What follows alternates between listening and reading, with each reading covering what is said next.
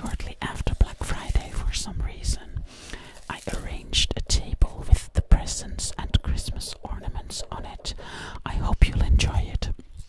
So, we have some eyeshadow palettes, a mirror, and a very shiny ring. Do you like the colors? Colors, colors, colors, colors, colors, colors, colors. And what do you think about my sequins gloves?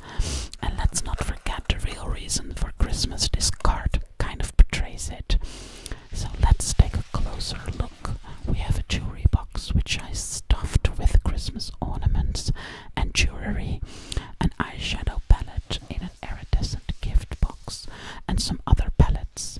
So there will be a longer video of this with me tapping with long festive nails on my channel soon.